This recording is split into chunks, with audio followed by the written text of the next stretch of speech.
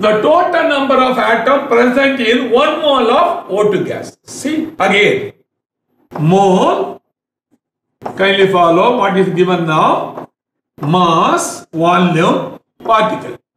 What is asked? Total number of atom. Particle is asked. Particle is asked. What is given? Mole is given. So you have write mole left side, particle right side. What is the answer now?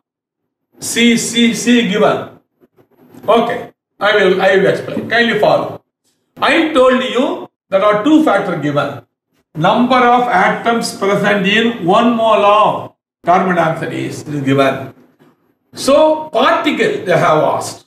So one mole of O2 contain 6 into 10 to the power of 23 molecules.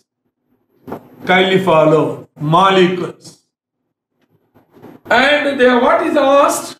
The total number of atom present in one mole. This is molecule. What is one, one, one, one, mole, uh, one molecule? How many atom? Two.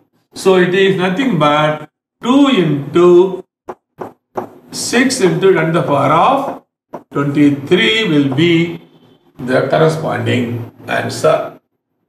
Answer is B, the correct answer. Sujita, I hope you have clear. Next, let me go for the next question.